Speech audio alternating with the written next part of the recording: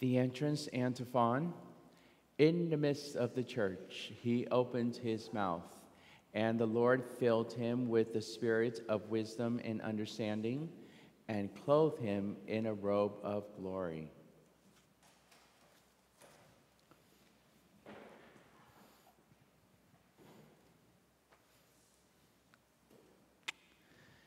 In the name of the Father, and of the Son, and of the Holy Spirit. The grace of our Lord Jesus Christ, and the love of God, and the communion of the Holy Spirit be with you all. Amen. Brothers and sisters, let us acknowledge our sins and so prepare ourselves to celebrate the sacred mysteries. I confess to Almighty God and to you, my brothers and sisters that I have greatly sinned in my thoughts and in my words, in what I have done and in what I have failed to do, through my fault, through my fault, through my most grievous fault. Therefore, I ask Blessed Mary, ever Virgin, all the angels and saints, and you, my brothers and sisters, to pray for me to the Lord our God. May Almighty God have mercy on us forgive us our sins, and bring us to everlasting life. Lord, have mercy. Christ, have mercy. Lord, have mercy. Let us pray. Almighty, ever living God, who gave St. Anthony of Padua to your people as an outstanding preacher and an intercessor in their need. Grant that with his assistance, as we follow the teachings of the Christian life, we may know your help in every trial. Through our Lord Jesus Christ, your Son, who lives and reigns with you in the unity of the Holy Spirit, God forever and ever.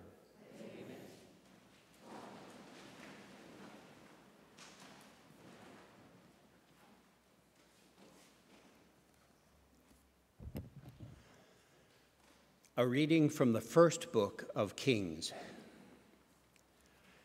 Naboth the Jezreelite had a vineyard in Jezreel next to the palace of Ahab, king of Samaria. Ahab said to Naboth, Give me your vineyard to be my vegetable garden, since it is close by next to my house. I will give you a better vineyard in exchange, or if you prefer, I will give you its value in money.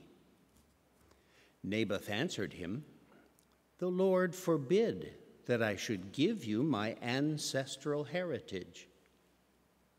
Ahab went home disturbed and angry at the answer Naboth the Jezreelite had made to him. I will not give you my ancestral heritage. Lying down on his bed, he turned away from food and would not eat. His wife Jezebel came to him and said to him, Why are you so angry that you will not eat? He answered her, Because I spoke to Naboth the Jezreelite and said to him, Sell me your vineyard, or if you prefer, I will give you a vineyard in exchange. But he refused to let me have his vineyard. His wife Jezebel said to him, A fine ruler over Israel you are indeed. Get up, eat and be cheerful. I will obtain the vineyard of Naboth the Jezreelite for you. so she wrote letters in Ahab's name, and having sealed them with his seal, set them to the, sent them to the elders and to the nobles who lived in the same city with Naboth. This is what she wrote in the letters Proclaim a fast and set Naboth at the head of the people. Next, get two scoundrels to face him and accuse him of having cursed God and king. And then take him out and stone him to death his fellow citizens, the elders and nobles who dwelt in his city, did as Jezebel had ordered them in writing, through the letters she had sent to them. They proclaimed a fast and placed Naboth at the head of the people. Two scoundrels came in and confronted him with the accusation Naboth has cursed God and king. And they led him out of the city and stoned him to death. Then they sent the information to Jezebel that Naboth had been stoned to death. And when Jezebel learned that Naboth had been stoned to death, she said to Ahab, Go on, take possession of the vineyard of Naboth the Jezreelite that he refused to sell you, because Naboth is not alive, but dead. On hearing that Naboth was dead, Ahab started off on his way down to the vineyard of Naboth the Jezreelite to take possession of it.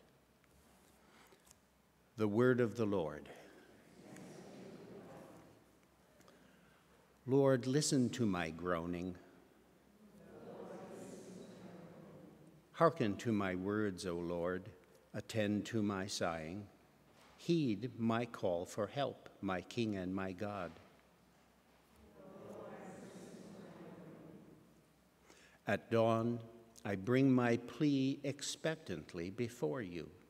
For you, O God, delight not in wickedness no evil man remains with you. The arrogant may not stand in your sight. You hate all evildoers. You destroy all who speak falsehood. The bloodthirsty and the deceitful, the Lord abhors.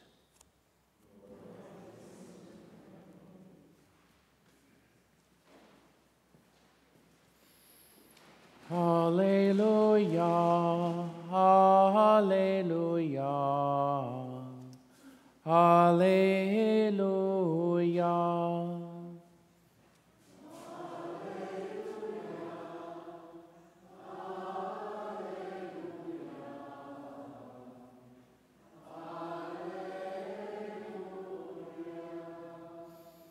A lamp to my feet is your word a light to my path. Alleluia. Alleluia. Alleluia.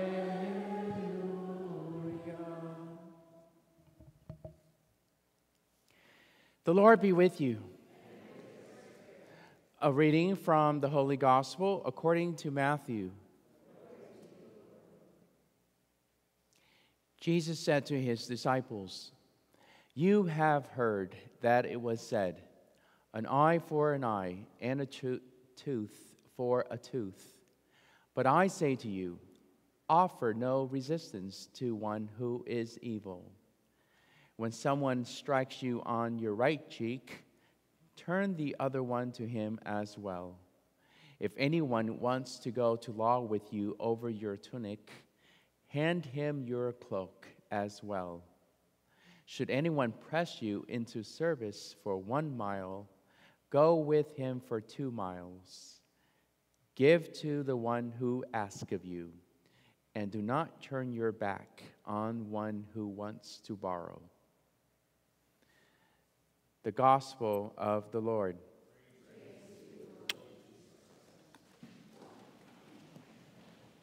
So, as you realized last week, our diocesan clergy, they were all on retreat. This next week, the Norbertines are going to be on retreat. So, I can speak on behalf of the confreres in the rectory that we are all going to miss you so much next week as we are at the Abbey drinking our ice cold iced tea. I don't know if they even serve that anymore. But of course, I am the first to tell you that you know what makes a good retreat master? Someone who gets out of the way. That way, people will be led directly to our Lord. That's what a retreat master, Father Luke Dysinger, I believe was his name. That's what he said to us. And Father Luke was the retreat master for the diocesan priest last week. He's a very learned Benedictine monk, but it's his sanctity. That's why we invite people to give retreats, is because of their holiness, in addition to their um, erudite ways. Now, of course, Father Luke gave us the retreat, I believe it was back in 2019 at the Abbey, and I recalled from his conferences, being that he's a medical doctor, he has an MD, he focused heavily on things like mental health. And then he gave an example that still I can still recall to this day. He was quoting from a French existentialist philosopher. His name would have been Jean Paul Sartre, who wrote this play called No Exits. And in it, he described three individuals who have been condemned to hell. And there in the play, they were put in a room together. Eventually, as you can gather, they, they started really tormenting each other. And at the end, one, one of them said the line that you are all familiar with that hell is the other person, hell is your neighbor, something like that. And of course, that could be misinterpreted. Eh, basically, I'm not going to go into details into the play, but it speaks to the fact that we are confined or we are limited by others people's apprehension of us, their perception of us. That that's, that is something that we are confined or limited by. And whereas you and I are the first to say that no, your neighbor is not your problem. And that was the case in the first reading. In fact, you look at the example of St. Anthony of Padua. What did he do for his neighbor?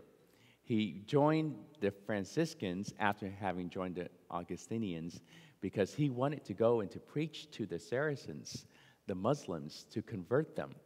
And that is something that is that we can all look to. In addition to the many other things that St. Anthony of Padua is well known for, his zeal for the salvation of souls is why we speak about him today. The other thing that you all know St. Anthony for, you know St. Anthony for would be what? He is the intercessor of lost items. So I'm constantly asking St. Anthony to help me find my phone, my keys, or my wallet. Okay, those are the three items. And of course, you all know the backstory, right? St. Anthony having, he had a psalter, and this is before the printing press, so those things are super valuable. And a novice who was leaving the community took his psalter, and that left St. Anthony in great distress and sorrow and anguish. So he prayed that that young seminarian would bring the Psalter back, that book of the book of Psalms, and it was a happy ending. That wayward novice came back and gave St. Anthony back his, his favorite Psalter. Therefore, we look to St. Anthony for that particular cause. Whereas you and I recognize that St. Anthony is good because we can ask him for those impossible causes, you know, like someone's wayward way that they would come back to the church, for example. You have a friend, a sibling, or a child that is wayward. We ask St. Anthony to intercede for us. And of course, St. Anthony, and when I think of his life, it was his preaching that was so powerful. And his preaching, of course, is supported by what? His prayer life. And that's the whole purpose of a retreat is one's prayer life. You speak out of the abundance of the heart, and so what you contemplate, meaning God's divine mysteries, that's what is going to allow you to be effective. So when I see my confreres walk across the parking lot, I go, look, there goes a contemplative in action. Okay, can you imagine like Father Godfrey in his serene way walking across the parking lot? There go a man who has contemplatio and actio, contemplative in action. And this is very important for us because a retreat allows us to step back, as the words signify. You step back so that you can refocus and find that balance, which is so important for all of us because we don't want to just run around and, and just busy ourselves with activities. Our activities only have value and meaning insofar as they are assisted and sustained by our prayer life. So, as we go forth this day, may we recognize that our neighbor is, is very important. We live in community. Therefore, our neighbor is someone we should intercede for, not to be looked at as someone as our rival, but someone to be prayed for and to be loved. And realize that the little deeds that you're going to do today, the little ways that you can offer it up, that the little things that you can offer up, that could bring about the salvation of someone out there, unbeknownst to you. And that would be something that St. Anthony would want to leave you with.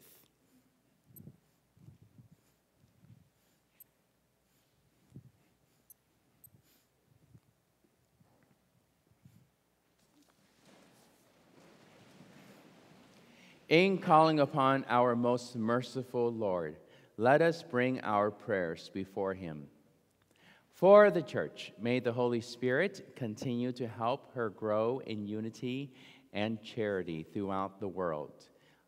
Let us pray to the Lord.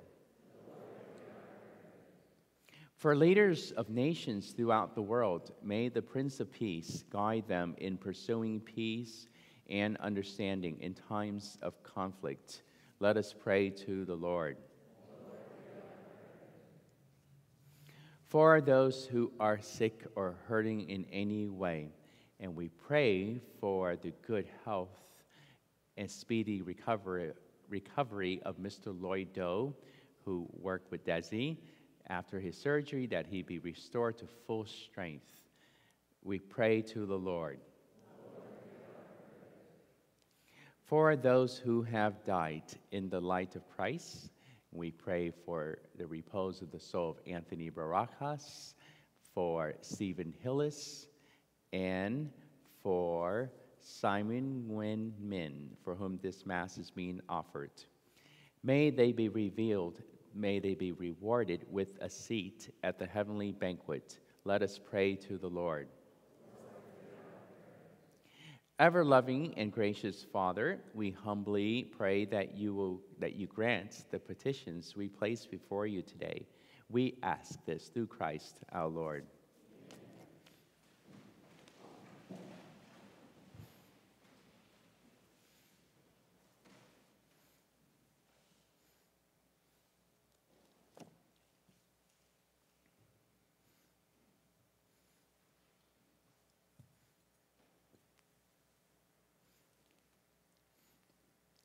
Blessed are you, Lord God of all creation, for through your goodness we have received the bread we offer you, fruit of the earth and work of human hands. It will become for us the bread of life.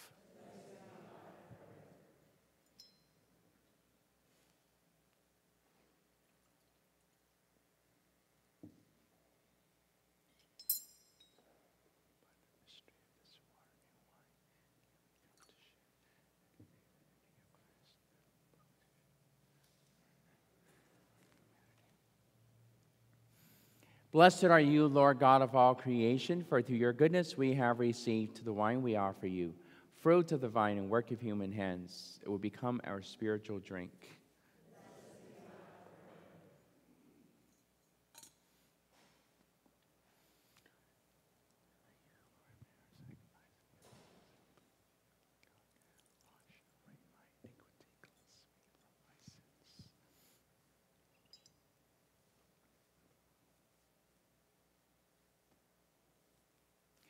Pray, brothers and sisters, that my sacrifice and yours may be acceptable to God the Almighty Father.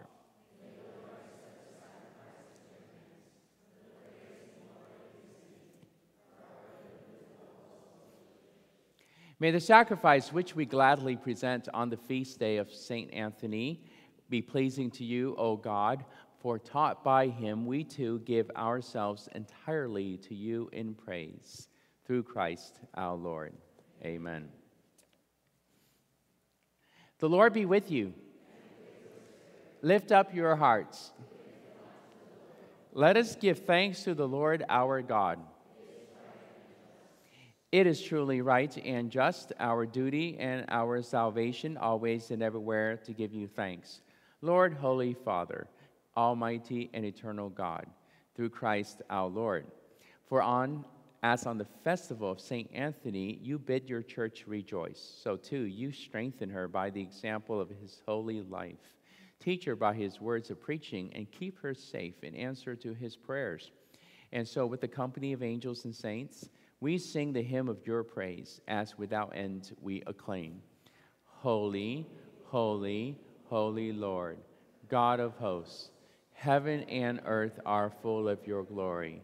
Hosanna in the highest. Blessed is he who comes in the name of the Lord. Hosanna in the highest.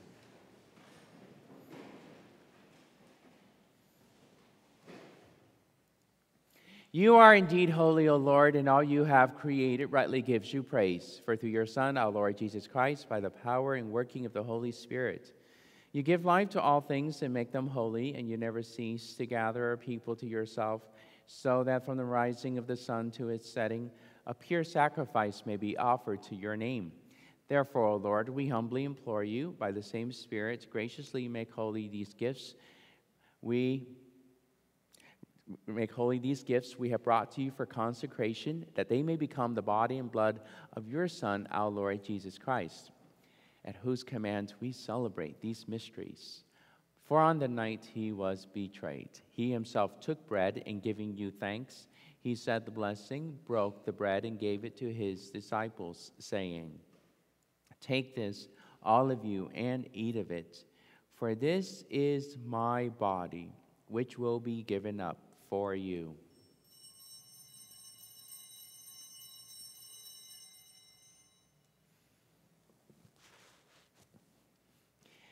In a similar way, when supper was ended, he took the chalice and giving you thanks, he said the blessing and gave the chalice to his disciples, saying, Take this, all of you, and drink from it, for this is the chalice of my blood the blood of the new and eternal covenant, which will be poured out for you and for many for the forgiveness of sins.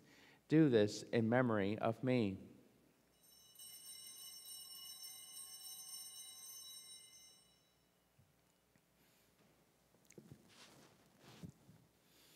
The mystery of faith, we proclaim your death, O Lord and profess your resurrection until you come again. Therefore, O Lord, as we celebrate the memorial of the saving passion of your Son, his wondrous resurrection and ascension into heaven, and as we look forward to his second coming, we offer you in thanksgiving this holy and living sacrifice. Look, we pray, upon the oblation of your church and recognizing the sacrificial victim by whose death you willed to reconcile us to yourself, grant that we, who are nourished by the body and blood of your Son, and filled with his Holy Spirit, may become one body, one spirit in Christ. May he make of us an eternal offering to you, so that we may obtain an inheritance with your elect especially with the most blessed Virgin Mary, Mother of God, with blessed Joseph, her spouse, with your blessed apostles and glorious martyrs, with Saint Anthony of Padua, and with all the saints on whose constant intercession in your presence we rely for unfailing help. May this sacrifice of our reconciliation, we pray, O Lord, advance the peace and salvation of all the world. Be pleased to confirm in faith and charity your pilgrim church on earth with your servants Francis, our Pope, and Kevin, our Bishop, Timothy and Thanh, his assistant bishops, the order of bishops, all the clergy, and the entire people you've gained for your own. Listen graciously to the prayers of this family, whom you have summoned before you. In your compassion, O merciful Father, gather to yourself all your children scattered throughout the world to our departed brothers and sisters, and to all who are pleasing to you at their passing from this life, give kind admittance to your kingdom. There we hope to enjoy forever the fullness of your glory through Christ our Lord, through whom you bestow on the world all that is good. Through him and with him and in him. O God, Almighty Father, in the unity of the Holy Spirit, all glory and honor is yours forever and ever. Amen.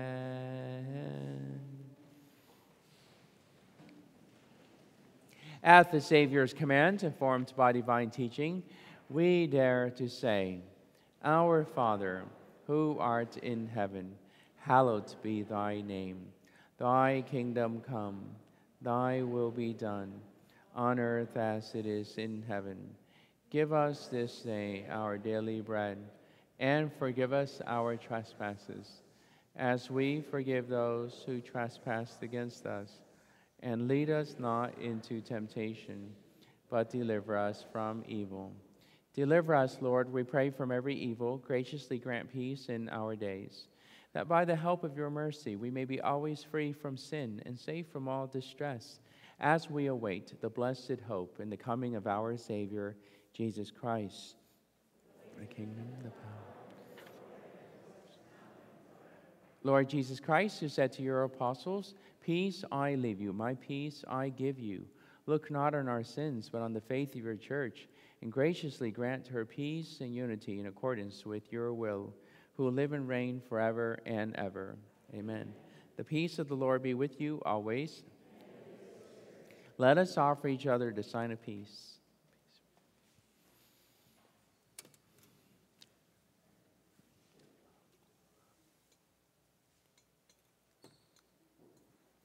Lamb of God, you take away the sins of the world.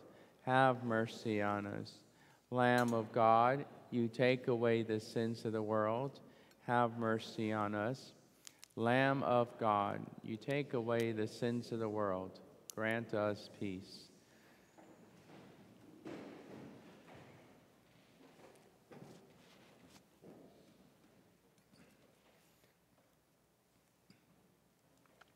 Behold the Lamb of God. Behold him who takes away the sins of the world. Blessed are those called to the supper of the Lamb. Lord, I am not worthy that you should enter under my roof, but only say the word, and my soul shall be healed.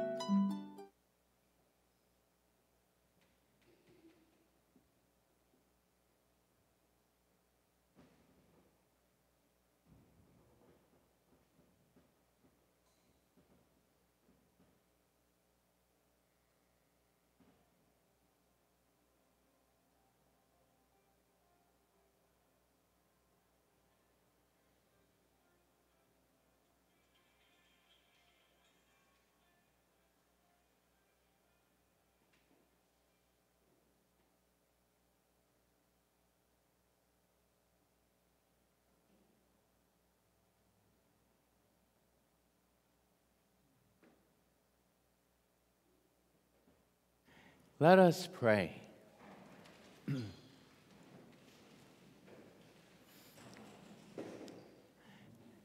May your holy gifts, which we have received, fill us with life, O Lord, so that we who rejoice in commemorating Saint Anthony of Padua may also profit from his example of apostolic virtue through Christ our Lord.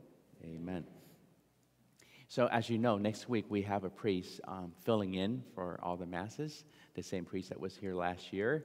And then another announcement is this Friday, there is that epic, another basketball game between the priests of the diocese uh, versus their seminarians.